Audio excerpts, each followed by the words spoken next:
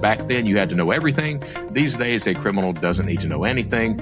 And because of that, the, the numbers of cyber criminals continue to explode. Hello, everyone, and welcome to the CyberWire's Hacking Humans podcast, where each week we look behind the social engineering scams, the phishing schemes, and criminal exploits that are making headlines and taking a heavy toll on organizations around the world. I'm Dave Bittner, and joining me is Joe Carrigan from Harbor Labs and the Johns Hopkins University Information Security Institute. Hello, Joe. Hi, Dave. Got some good stories to share this week, and later in the show, my conversation with Brett Johnson. He's Chief Criminal Officer at Arkose Labs. So, who's got the advantage in cybersecurity, the attacker or the defender? Intelligent people differ on this, but the conventional wisdom is that the advantage goes to the attacker. But why is this? Stay with us, and we'll have some insights from our sponsor, KnowBe4, that put it into perspective. All right, Joe, before we jump into our stories this week, got a little bit of follow up here. Yeah, What- before what we get to this, this letter here, I want to ask, I want to, I want to follow up on our comments last week from the Twitter checkmark comments. Yeah. Uh, what a what a mess that has become. Oh my gosh. that that has gone so sideways Yeah. in ways that I had no idea it was going to do that. And uh, actually, you probably I should probably should have been able to see that coming. right. Last one who leaves, turn out the lights. Right, exactly. I'm waiting for fail whales to come back. Uh, do you remember the fail whales? I do not. What No, are the early whales? days of Twitter, they um, they didn't have enough server capacity to handle the traffic, and Oh. so sometimes you'd go to try to use Twitter, and this picture of a whale would come up, being like this whale was being carried by a bunch of birds. It was a it was a stock photo, but Right. it got to be known as the fail whale when Twitter wasn't working. So I'm I'm just counting down the days for the return of the fail whale because uh, you know whatever engineers got. Uh, fired on their way out. You know, they pull the plug on a bunch of servers or something. Who- knows? But yes, Right. you're correct. It is cha- a bit chaotic over at Twitter these days. Yes. so we do have a letter from someone who was listening, and they said, "Hi, Dave and Joe. Your advice about bookmarking URLs to avoid typos. I find that." Adding them to my password safe is the best answer. Hmm. And I kind of agree with that, if, Yeah. if that's an option for you. Uh, I don't have a password safe that's integrated with my web browser. Mm. Uh, mine is independent of the web browser. It's actually uh, called Password Safe, and I'm moving to uh, KeePassXC, I believe, because I now have a Linux laptop that I use. Okay. And it's a similar thing. It lets you use a YubiKey on Linux. Okay. But I, I digress again. Anyway, so this listener, whose name, by the way, is Graham, I should have mentioned that earlier, says that there's three advantages to using your password manager. One, you sync across all browsers and devices, which is true with a lot of these browser integrated uh, password managers. Right. Uh, it's more controlled unless you put effort into your bookmark management. Uh, you could end up clicking on the wrong one. Right. That's that's correct. Mhm. Uh, and most importantly, it integrates with the user credential management and encourages further use of the password uh, manager, which is Yeah. correct.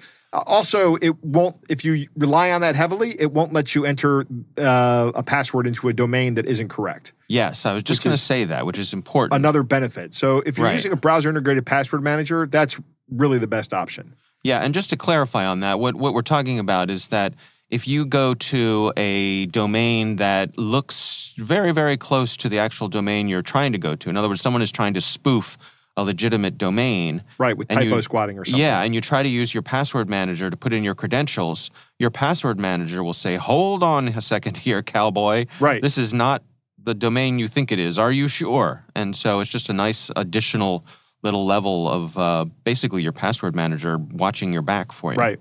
Yeah. Uh, Graham goes on to say, with respect to multiple jobs, one of the engineers working for me used to work for a consultancy firm. And when he started, he said he continued to want to do some work with them, which is kind of like a lot like what I'm doing with Harbor Labs and Hopkins, I guess. Yeah. Um, he's doing it out of core hours. And in return, how I got the company to agree to it, he still has access to mentors and experience that come with the consultancy instead of working for a single financial company, which is where he works, where Graham works. Yes, we have to trust that he won't give the consultancy firm any of our data or information, but that's a risk I feel is justified and uh, for his and indirectly our benefit as well. I, you know, I generally believe that people are ethical. Yeah. Uh, and, you know, in a professional setting, yeah, that is a risk that you run. But if these businesses are different enough, I think it's a really low risk, and you can make it explicit in the in the employment contract as well. Yeah, we got a number of uh, responses to our conversation about people taking on multiple jobs. Yeah. Uh, some people were quite fired up about it, Right. saying that you know what's the problem. Um, and I, so just to clarify, I mean, I think if you're on the up and up with both employers and you let them know what's going on and they're okay with it, then I don't see there any problem being being any problem with it. However, I can't think of many employers who would be okay with you having two full-time jobs. Right. Right? It's one thing to have a full-time job and you know, deliver pizzas on the weekend or do some consulting or pick up some extra work. You know, lots of people do that and I don't think there's any problem. Again, as long as you're straight with your employer, run it by them and they say, "Yeah, that's there's no conflict there." Right. But I think a lot of what we were talking about was people who are not being honest about it, who are taking multiple jobs, um, either to try to have multiple full time jobs or just outright fraud. Yeah, outright fraud you, it, I, is indefensible, right? And, Yeah. And if anybody thought that I was endorsing that, no, I'm not. Yeah, no, And- no, I don't think anybody was. I think, I mean, more of the the the steamy feedback we got was from folks who were saying there's nothing wrong with this. That you know why that, that disagreed with us that there could be any problem with someone working multiple full time jobs. And Yeah, so, I'm, I'm I'm kind of falling in that camp. I mean, I understand uh, understand their their their position on it. Yeah. Uh, that yeah, if, as long as you are performing up to up to the standards of both jobs to an acceptable level, Yeah, I yes, but I would add, and as long as both jobs are okay with it. right? I know, uh, you know, I, I think you should be on the up and up and be straight with both of them, uh, and so that they can evaluate you with that in mind. Right. So It might help. yeah, yeah. All right. Well, our thanks to Graham for uh, writing into us. We do appreciate that. We would love to hear from you. Our email address is hackinghumans at thecyberwire.com. All right, Joe, let's jump into our stories this week. Uh, I'm going to kick things off for us. I actually got uh, a note from our friend Dr. Christopher Pierson. He is the CEO of the organization called Black Cloak. Uh, I'm pretty sure we've had him on this show. I know he's been a regular guest over on the Cyberwire. Um, and uh, Chris's company provides concierge services for uh, high net worth individuals and and uh, high profile individuals. So, in other words, if you're a, a sports star or you're a CEO of a big company, um, they come in and take care of the kind of the unique problems that you face as someone who's in that situation because you know their problems are not like yours and mine Right. when it comes to people you know coming after them and trying to get on their home network and i mean even as far as things like kidnapping uh, which which happens you know? Right. um, so anyway their their company specializes in that sort of stuff and uh, chris was listening to one of our recent episodes uh, and sent over a report that kind of follows up on something we were talking about and this is about um, registration bombing email attacks uh, there's an article over on the Black Cloak website. We'll have a link to it. It was written by Daniel Floyd.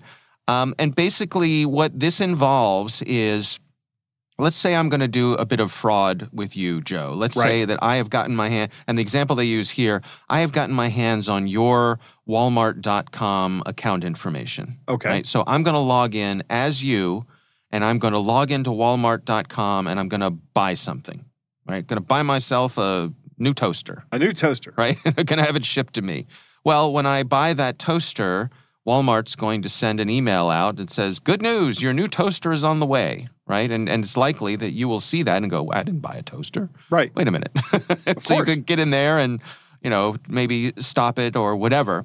So what this uh, registration bombing is is the bad guys use bots to flood your inbox with registration verification emails. Right. So they will set these bots out, registering you for hundreds, if not thousands, of things. They could be newsletters, they could be, you know, website. Who knows what they could be. But right? they're all like, please click here to confirm that you signed up for this. right. And so the plan is hidden within all of these hundreds of nuisance emails that are flooding your box Right. is the message from Walmart. Right. And you're much more likely to miss it when it's in the midst of all of this noise that they're throwing at you Yes. over and over again. So uh, I thought this was interesting. It's an interesting report. We'll have a link to it here in the show notes. Um, in terms of um, you know, fighting something like this, I, I guess first of all, be vigilant that if you find yourself being flooded by this sort of thing, just know that it may be Right. uh, an, an attempt to uh, misdirect you Right. because something else is going on. Dave, I, I think I've I'm going to implement something to mitigate against these kind of attacks because I've been thinking about this for a while. Yeah. I have a number of emails, and if anybody does any amount of cursory research on me, they can probably find these emails. Okay. And the thing about these emails is they're very old, and I love them very much because it's six characters, Dave. It's so awesome having a six character email address. Okay. Uh, but at the same point in time, I've signed up with all kinds of crap with these email addresses, Sure. and I have a Yahoo email address and a um, and a uh, Gmail address. But I think it's going to be time very soon for me to just start doing email addresses for my own kind of business, like all the the credit cards that I have. I'm going to have Mhm. like a credit card email address, or maybe like all the bills I have to pay. I'll have a bill email address Right. um, and put the credit cards in there with that. Um, you know, banking as well, and and then I don't use that for anything other than correspondence with these institutions. I see. Right. Yeah. Yeah. Uh, that way, and I don't publish that. I don't say, "Hey, here's my email for you to contact me." That's not the email for you to contact me. That's the email for my bank to contact me. Right. Um, and I think that's that's probably a good idea. I don't know if you know what. I'll try it and I'll let you know how it works. You know, there's another method I've seen folks use uh, with Gmail. You can append your email address with Yeah. a like a, I think is it a plus sign you put after your name or something There's like something that? like that. Yeah. Maybe a no, no. It, it is a plus sign. A dot is something different with Gmail. Yeah, I think it's a plus sign. So in other words, if your if your uh, email address at Gmail was joe at gmail.com, Right. you could say joe and then plus sign banking Right. at gmail.com and you could sign up for all your banking things using that. They would send a message to Joe plus banking at gmail.com and Right. you would get that in your Joe email box, but you, it makes it very easy for you to filter. Right. It makes it easy for me to filter, but anybody that sees uh, my email address will know what my email address is. And the yeah, idea that's is, true. Then they could strip it out. yeah, they could strip it out. Yeah. No, it's, it's I, true. I think the best thing to do is have just have a different Gmail address. They're all free. Yeah. Remember back in the days when you had to get recommended to Gmail? You had to know someone. You had to know someone. yeah, you did. That's how I got my Oh, Gmail account. Uh, yeah. Thank you, Nancy Debnam, for sending sending my my invite. That's right. All right. Well, we will have a link to this report from uh, our friends over at Black Cloak. Again, uh, our thanks to Dr. Christopher Pierson for sending this over. We do appreciate it. Joe, what do you got for us this week? Dave, I know we've talked about these kind of things before Yeah. a lot, but the FBI is now talking about a really big step up in tech support scams. Hmm. And they're targeting financial accounts using remote desktop software, which is kind of what the scam is. Okay. The Boston division of the FBI is warning about a, an emerging trend. I don't know that I call this an emerging trend, except for these guys are just getting more sophisticated. Hmm. Uh, it- that what they're doing is the same thing that they've always done, where they uh, where they put a pop up on your screen somehow with with like a website. They have co- either uh, tricked you into going to some place you shouldn't have gone, Right. or uh, they've compromised some website that you go to anyway, like a watering hole attack Yeah. uh, and they say your computer is infected. Please call Microsoft Tech Support, or they'll call you and they'll say, um, "You know, we've we've this is Microsoft Tech Support. We found a virus on your computer, Sure. right?" Which should be the first red flag for anybody, Yeah. right? Mhm. Tech Support never calls you. It just doesn't happen. Right. I- I mean, wouldn't it be great? If, if that was the way it worked, it would be nice. My They- computer's yeah. not working. Bring ring. Oh, we notice your computer's not working. No, that's not how it, It would works. go right to voicemail. Right. It would. so in 2001, nation, I'm sorry, I said 2001. It's 2022. So in 2021, Mm. the um, uh, they the FBI says that 23,903 people reported losing more than a quarter, or third of a billion dollars due to tech support scams, Wow. which was a 137% increase uh, over the losses from the previous year. Hmm. 60% reported to be over 60 years old. So this is a scam that older people fall for Yeah. at a higher rate, hmm probably because they're not digital natives. Could be. Yeah. Um, yeah. And I saw a news report on this where they had an agent from the FBI uh, on on, and she was saying that uh, it's something that definitely targets older users. Hmm. Now, we've seen other data that says that older users are less likely to fall for scams. But I think in this scam, they're the, they're the ones that are more likely to fall for it, Hmm. right? Because younger users have grown up in this world. They know tech support doesn't call you or reach out to you, Oh, okay. right? They know that. Older users might not know this. But get this, Dave. There was a couple from Maine that lost $1.1 million in a tech support scam. Wow. You blinked really slowly there. that was that was I saw that number and I, I, I had the same reaction. This was after receiving a pop-up alert uh, advising them that their computer had been breached Yeah. and that there was an attempt to compromise their banking information. Hmm. Uh, so they were urged to call Microsoft, who then put them on the phone. Microsoft in quotes, and this is in the FBI report, by the way. This is all coming from FBI.gov, and we'll put a link in the show notes. Uh, but I love this. I love the quotes, the use of the quotes here. They got a, co- a call from Microsoft, who then put them in touch with a, somebody from Fidelity, Uh huh. so that they could uh, transfer their money to Coinbase for safekeeping. Oh. Uh, and these people got away with $1.1 million of these people's money, which is absolutely infuriating. There was a New Hampshire resident who lost approximately $1 million after receiving a pop up alert that she had been hacked. After calling the tech support number, a man with a foreign accent advised her that several bank accounts had been compromised and CSAM had been found on her computer. So uh, there is nothing that will short circuit your thinking faster than that, right? Right, If you're right. if you're somebody who doesn't understand how computers work, uh, you just understand how to use them, and somebody goes, "Well, you got some terrible, terrible, terrible stuff on your computer, and the, you know we're looking at this. Let me let me help you." Uh, remember, this is what I call the social engineering one-two punch. You have a problem, I have a solution. Mm-hmm. Uh, so that that that resident law of New Hampshire lost almost a million dollars. There was a Rhode Island woman who lost two hundred thousand dollars. Uh, these uh, another Massachusetts woman lost two hundred thousand dollars. These are tech support scams that are costing people orders of magnitude more than they used to. yeah. I mean, many orders of magnitude more. You would, we would get tech support scam stories, and it'd be like somebody lost thousand dollars, somebody lost two thousand dollars. These people are now lo- losing hundreds of thousands and millions of dollars. It's amazing. It is. You know, the, just about a week ago, I was uh, at my local uh, CVS drugstore and I was buying a gift card uh, for a family member's birthday. And so I went up to the register to buy my gift card, and uh, I was impressed that uh, on the little uh, you know device where you put in your credit card information, a message popped up with a warning about gift card scams. Good. Yeah, yeah, Nice. And I had to I had to you know click through, and it was just an extra screen that said, you know, get, we see you're buying a gift card just in case.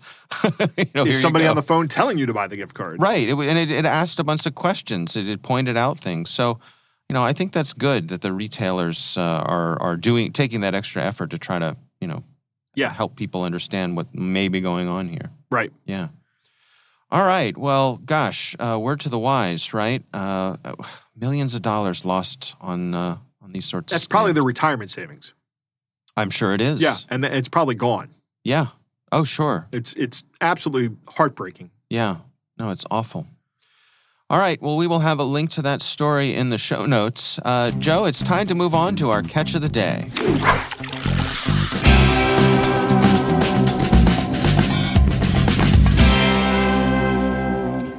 Dave, our catch of the day comes from a listener. It's a story that was written by the, the listener. He's uh, got an interesting story about a Steam uh, Steam account takeover attempt. So I'm going to let you just go ahead and read Norman's story. Okay. Uh, he writes in and says, My name is Norman. I'm from Germany and I study computer science. I really enjoyed listening to your podcast. Last week, someone tried to steal my Steam account. I was contacted via Discord by a user that sent me a screenshot of my Steam profile and asked me if this was me. After I confirmed that, he told me that he accidentally reported me to Steam and now my account will be permanently banned. Supposedly, he was scammed on Steam for $450 on a sale, and the scammer had the same profile picture, and that's how he ended up reporting me to Steam. Mm-hmm. Now, to prevent my account from being banned, I should please contact a Steam or Valve developer via Discord or Steam chat who can fix it. This alleged Steam employee sent me a fake certificate saying that he works at Steam. After that, he said he would have to search my account to verify I am not the scammer. After this, he will send me an email and I should send him the link back so he will be able to perform the verification. The email was a recovery link that would allow my account to be taken over.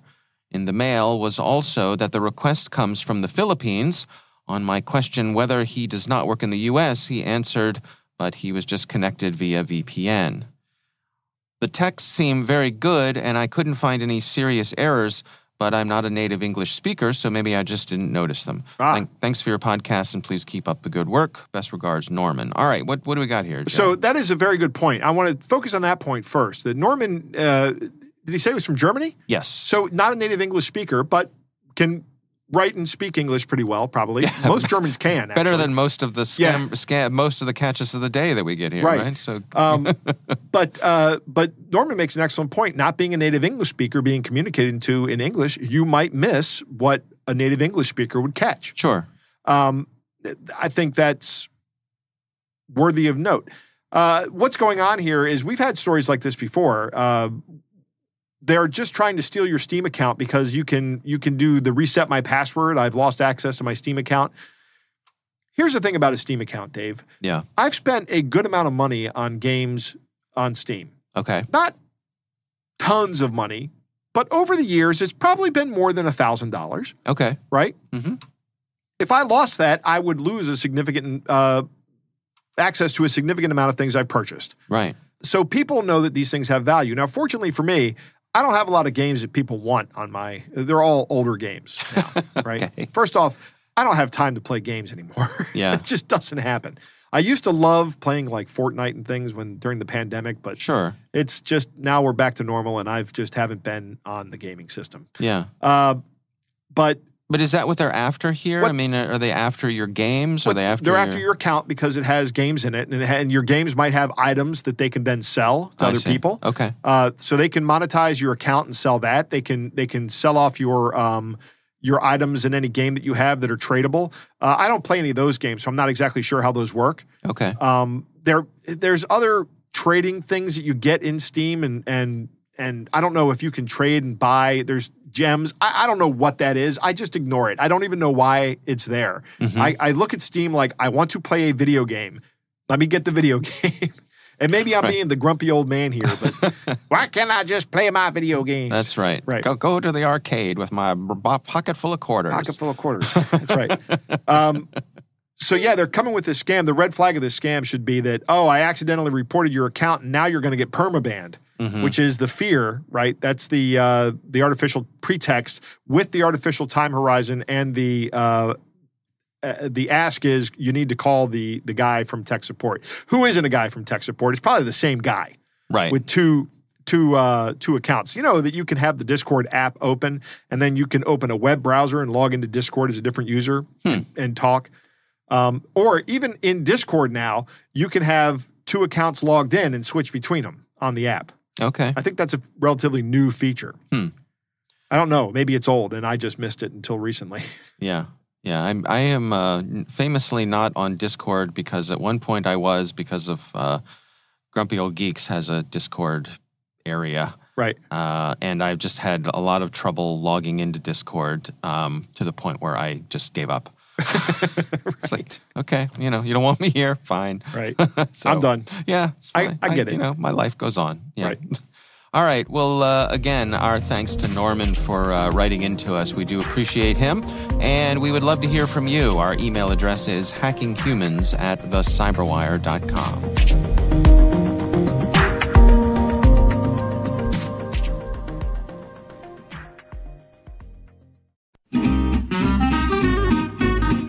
let's return to our sponsor's question about the attacker's advantage. Why do the experts think this is so? It's not like a military operation where the defender is thought to have most of the advantages. In cyberspace, the attacker can just keep trying and probing at low risk and low cost, and the attacker only has to be successful once. And as KnowBe4 points out, email filters designed to keep malicious spam out have a failure rate of over 10%. That sounds pretty good. Who wouldn't want to bat nearly 900? But this isn't baseball. If your technical defenses fail in 1 out of 10 tries, you're out of luck and maybe out of business. The last line of defense is your human firewall. You can test that firewall with KnowBe4's free phishing test, which you can order up at knowbefore.com slash fishtest. That's K-N-O-W-B-E, the number four, dot com slash fishtest. All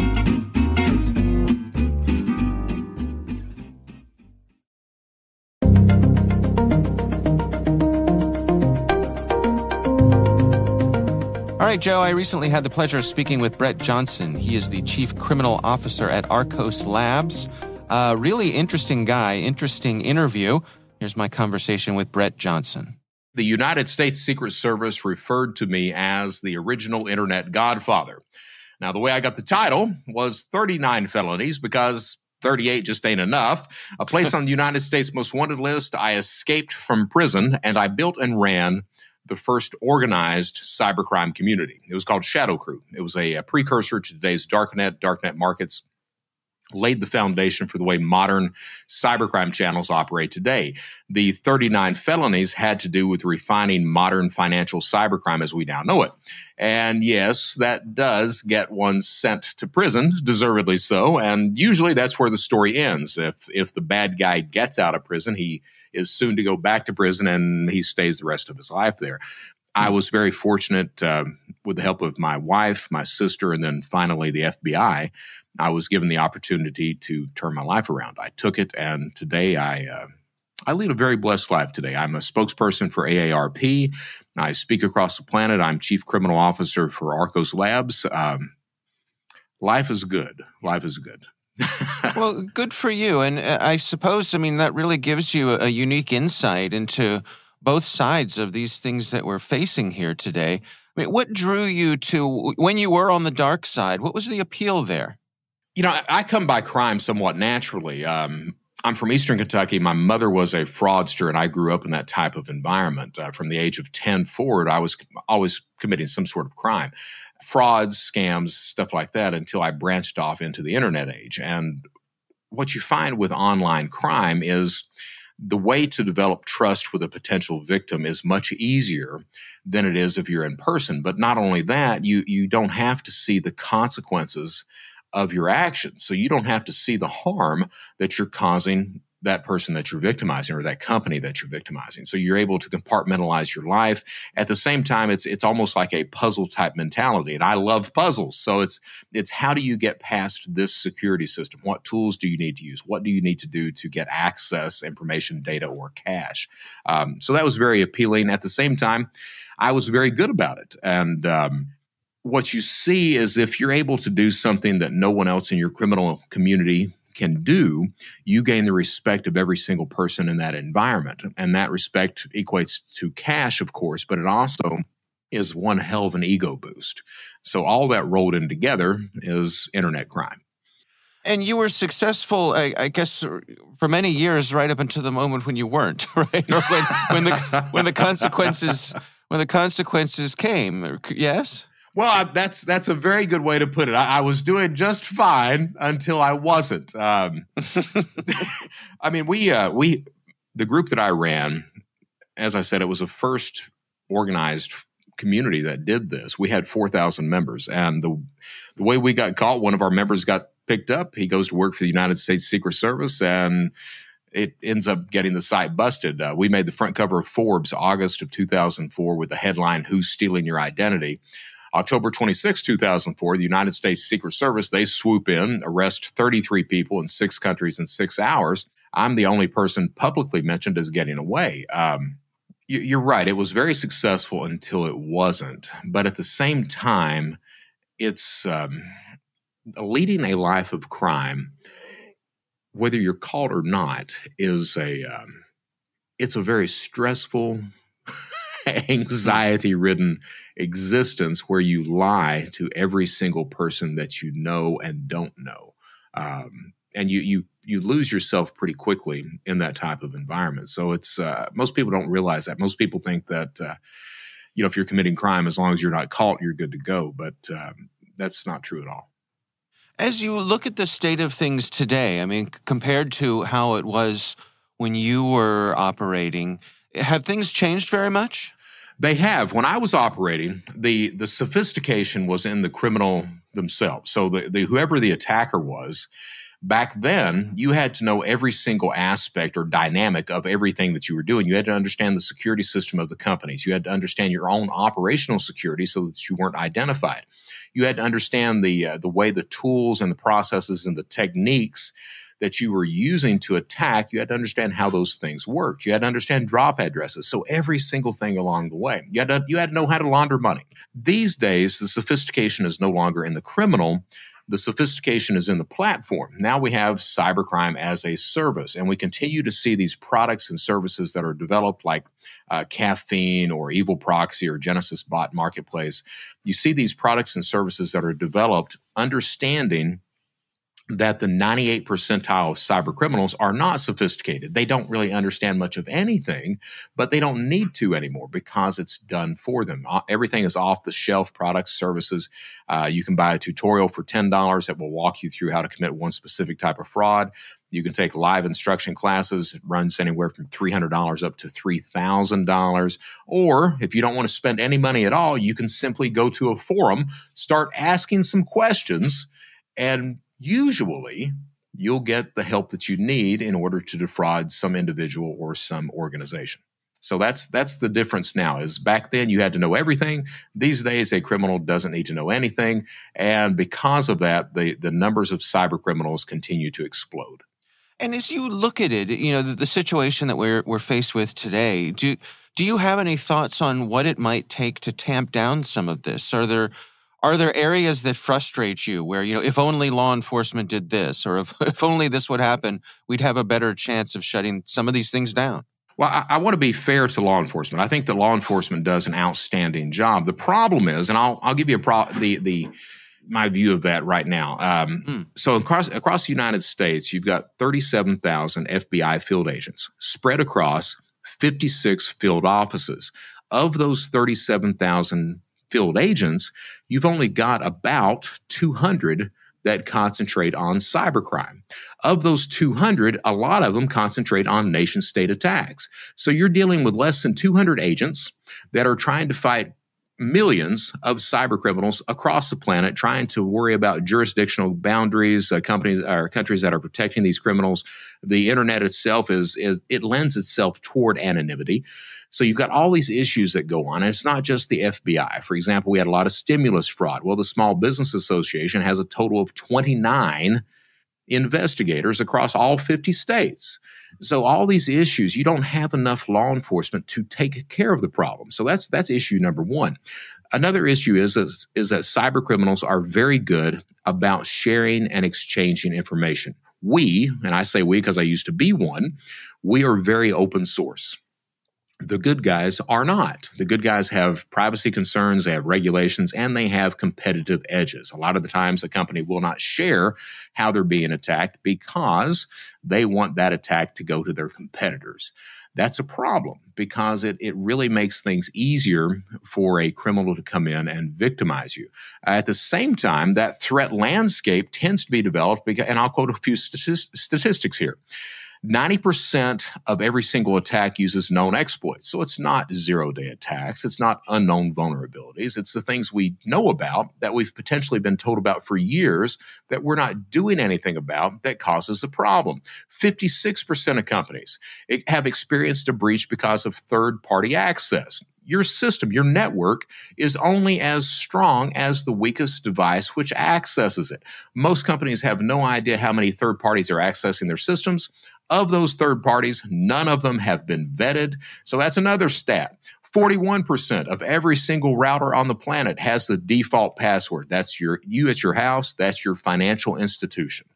92% of every breach begins with a phishing attack. So you, you, you think of things like this, this establishes that threat landscape that criminals come in and they just find where the holes are. And at the same time, you know, you've you've got you don't have enough manpower with with uh, law enforcement. You've not practiced proper cybersecurity hygiene. And let's be honest, a lot of security companies out there are snake oil salesmen. They will tell you, hey, our product is the only one that you need. Complete lies. Or they'll come up with a good product and never innovate on that product. So you've got a lot of issues out there that open the door for a criminal to come in and victimize you or your organization. You know, you're walking down the street in, in any big city, and and uh, you might come across some folks doing a three card Monty kind of thing. You know, your your street level fraud. And I think a lot of people will see that and they'll know, they'll say right away, oh, that, you know, there's, there's no way to win that. But there are enough people out there who don't know that, that the fraudsters get away with it. I mean, to what part of, in the cyber domain do you think educating our users plays a part in this? I think that uh, it's not only about educating users, it's also about educating everyone across the board. So you're, you're eh, this. The, I, have talked. I've been to conferences and I've talked to the salespeople on the floor for different companies, and the salespeople know the talking points of the product that they're selling, but they have no idea what cybercrime, identity theft, online fraud or anything else looks like, what cybersecurity, those issues are. They just know the talking points. So they've not been educated. And I see that across the board. It's I think what what we're dealing with is we have to you educate your customers, you educate your employees, you educate management, you educate the people who are selling the products and services to you. And that's that's a huge huge effort to do that, but I think it's an absolute necessity. At the same time you have to get to the point where you're sharing and exchanging information. On the criminal side, we understood years ago that by educating everyone across the board, everyone becomes more knowledgeable, but everyone becomes more profitable. On the good guys side, they have to start to understand hey, by educating everyone, everyone becomes more knowledgeable and more safe at the end of the day. That's what we have to do. We have to get to the point where we're not hiding the breaches that are going on, that we're reporting to law enforcement, that we're not only reporting to law enforcement, but we're following up with prosecution. A lot of the times you see companies that are scared to prosecute because it sends a bad message to their existing customers. And that message tends to be, well, you can't trust our environment. We're past that now. Most companies have already been breached. People, people worldwide understand that, hey, cybersecurity is an issue. Most companies, my information is out there, everything else like that. So we have to be willing to prosecute. And when you send the message that, hey, we will send you to prison, it does. I can tell you for a fact, it does have an effect on cybercrime communities. These communities share this information. This company prosecutes. So, so those criminals tend to try to find different targets other than those. I'm curious, Brett, you know, just from your own life, how do you go about protecting yourself and your loved ones from these sorts of things? Obviously, you know, you have a high level of knowledge and I'm sure you can see a scam coming a mile away, but not everyone in your family probably can. Well, you say that, but there was one year, uh, about three years ago, I was hit four times in one year. Um, so it, it can happen to anyone. And sometimes I'm in, a, in an audience and someone says, well, that would never happen to me. I think that's a blind side that you have. And that's the type of person that I would want to talk to if I were still a criminal, um, someone who uh, has those blinders on. It's important to practice to, to, to be situationally aware online as good as well as you are offline. You know, when we're in our physical world, we are well aware if we go into a bad neighborhood or if something something is wrong in our environment. Our, our mm-hmm. situational awareness is pretty high. Online, it's not. Online, it's like, you know, we have no clue what's going on. We don't understand that there are predators in our environment, in any environment that we're on. Um, I don't care what the website is. I don't care if it's social media, if it's a retailer merchant. There are predators everywhere that are trying to get you. Now, that doesn't mean you need to be scared or paranoid. It just need, means that you need to be aware that there are sharks in that ocean. What I say is that you know, cybercrime to commit it is not really sophisticated.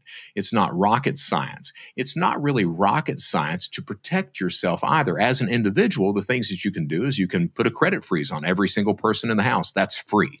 Credit freezes stop all new account fraud. Works great for kids. So, yes, you need to put a credit freeze on your children too. But start there, monitor accounts and place alerts because a credit freeze stops new account fraud. It doesn't stop fraud on existing accounts. So freeze your credit, monitor accounts, place alerts on those accounts, and then finally use a password manager because 70, 80% of everyone on the planet uses the same or similar logins across multiple websites. So that takes care of that issue. Those, I think, are the three big things to do. From there, you can use multi factor authentication. You can add other things onto it. The idea being to take a multi layered approach to your security. Understand your place in the cybercrime spectrum. Understand how a criminal will attack you, what is that criminal looking for from you? Is he looking for information, access, data, cash, a combination of those things? Design your security around the way that you will be attacked. For, for a company, it's still a multi layered approach, understanding that a criminal has a toolbox and he has a variety of tools with which, with which to attack you. You need a toolbox as well, well with a variety of tools to defend yourself. So you need identity uh, verification processes. You need to be looking at the biometrics on the site, the device info. You need something to combat uh, the automated attacks because over 50% of all internet traffic is bot driven. So you need that. Um, and, and these, these tools are not, they're not complicated. They're, they're, they're, they can be very effective when used in a multi-layered approach to security. So I think that that tends to be the answer, and we we have to get to the point also where we're where we're sharing this information, where we're not blaming the victim for the crimes that are perpetrated upon them. So we, there are there are tons of issues out there that we need to address. Yeah, when you look back to the time in your life when you were a criminal, how do you think about that time? I mean, do you do you try to stay positive that there were positive lessons that, that came away from it? Do you do you have regret? How, how do you look back on it? I have a I have a lot of regret, a, a lot of regret. Um, I usually say that I lead a, a blessed life today that I don't deserve, but I'm damn grateful to have. And there's there's a lot of truth to that. I don't see any any benefit at all from leading a criminal lifestyle. I think that um, it's a despicable life. I think that it's a uh, despicable behavior. You uh, you victimize everyone. You hurt everyone. You you hurt people you knew, people you don't know. You hurt yourself. Uh, I mean, it's um, there's absolutely no benefit to leading a criminal lifestyle at all. And I think about that every single day, every day. And uh, I work hard every single day to protect businesses and consumers from that type of person that I used to be.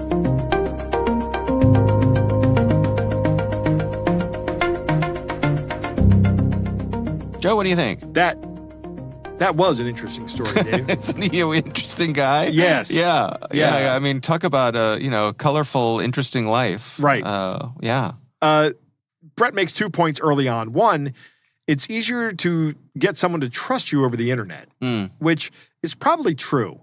And I think I, I've been thinking about this for a while. Why is that? Why does that work? And I think it's because people don't understand what's going on behind the scenes in their computer. Mm. You know, they they've never had to understand how to how to connect things, right? Like Yeah. remember when you and I were on uh, bulletin board services back in the 80s and 90s? Yeah. Yeah. We had to know how to do all that stuff. Yeah.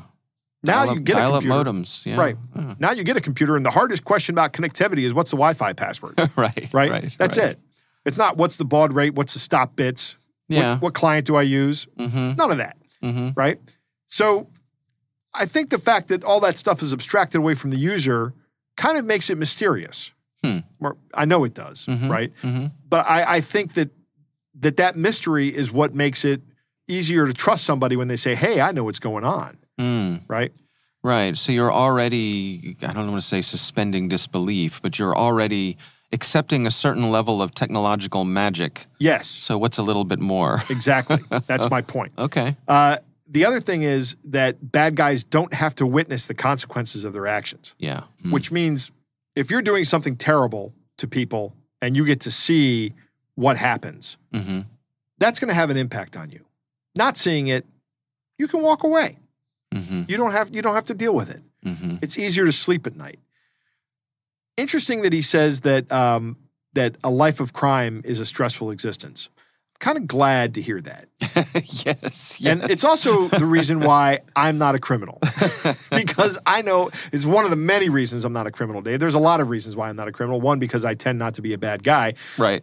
or at least I think I'm not a bad guy. But uh, I, I couldn't handle the stress. The stress would absolutely kill me. That, would, that would be it. Right. I'd I just imagine a, a life looking over your shoulder all the time. That, Exactly. yeah. Uh, going through the various defenses of a of a system that's been put to stop you from getting access is like a puzzle to these guys. Mhm. That's hundred percent correct. That's why they do it. Right? It's really attractive to them, and now there's big rewards at the end of it. Yeah. So why not? It's fun and it's profitable. Right, right up until the moment you get caught. right up until the moment, yeah, you go to prison. That's Right, that's right. when it stops being fun and Yeah. profitable. yeah. Uh, it's interesting about his observations on the specialization in the criminal world. Uh, this is almost like it's almost like buying using QuickBooks or buying some other software. hmm That and and this is this is the way it's, we've been watching it. You and I have been watching this go on for uh, a number of years now, and we've been talking about it. That there's it's commercial off the shelf software essentially, and commercial off the shelf processes Right. uh, you can get trained up in how to do this quickly. And these guys are very open about sharing their uh, their techniques and their practices and their tools. That you can just go get them. And one of the things he points out is that the people that they're fighting against or working against don't do that. Hmm. Like law enforcement has certain requirements on them. They can't make everything public in an ongoing investigation. They Mhm. can't share information. Corporations don't want to share information because in his in his estimation is because they don't uh, they would rather the bad guys attack their competition. Right. Um, that I, I would imagine there's some of that that goes on, but there are ISACs where people share information about this. I think the bigger concern there is that they don't want litigation. Corporations don't share information because then that becomes actionable in court. Yeah, I, I I I agree. I think that's a big part of it, and I also think they just don't want the PR of Right. people knowing that they fell victim to something. Yeah, don't- and actually, Brett talks about that in this interview. He goes, "It's it's normal now," Yeah. and he says uh, he goes on to talk about uh, that people should be prosecuting these criminals when they can, Mhm. because if you start prosecuting, they then you get a reputation for being prosecutorial, having a prosecutorial nature, and the bad guys leave you alone. right. Uh, yeah, take the reputational hit a couple of times, but put a couple people in prison hmm and maybe they stop attacking you. You know, be the quiet guy, the quiet kid that gets beat up. It's like you know you're on the schoolyard, right? and the bully comes up to you and starts hitting you. You just punch him in, you know, punch him in the face a couple times. Yeah, they put one of your men in the hospital. You put one of theirs in the morgue. Exactly. Don't listen to me, kids. I'm a terrible, I'm a terrible giver of advice for modern schools. okay. The stats he rattles off at the towards the end of the interview seem pretty accurate to me. I, I can't remember them off the top of my head. Uh, you know, that's the way stats are; they go out of your out of your head almost immediately. But if they seem shocking, don't be shocked by those. Those are probably accurate. Right. Uh, I like his his uh, his recommendations for keeping keeping yourself safe. Uh, and and these are things we don't normally say. He does say password manager and multi-factor authentication, Right. which are my two big ones. But he says credit freeze and alerts on your existing accounts. You know, Dave, I was talking with my wife today. We have a credit card that will not send me text messages when a purchase is made. It only sends me a summary email every day to the email account that I was just complaining about. I never check. Hmm. Right. So uh, I've, I think I've made a decision. I'm just going to get rid of that credit card. I'm Yeah. gonna I'm gonna I'm gonna close it and be done with it and not not have to worry about it anymore. I like the other credit cards that all say, hey, so you know, like my son has a card that he uses when I want him to go out and do something that I need him to do. Last night he we had Chinese. I got an alert when he picked up the Chinese. Right? Right. Right. Yeah. there it was. And Yeah. I, I knew when it was spent. Yeah. Yeah. Why not? Yeah, Seems like table stakes these days. it is. Yeah. It's basic. Yeah. And this other company can't do it. Yeah. And yeah, there you go. All right. Well, our thanks to Brett Johnson for joining us. Uh, again, he is the Chief Criminal Officer at Arkose Labs. We do appreciate him taking the time.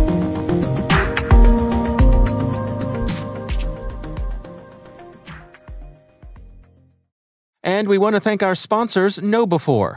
They are the social engineering experts and the pioneers of new school security awareness training. Be sure to take advantage of their free phishing test, which you can find at knowbe4.com slash phish test. Think of KnowBe4 for your security training.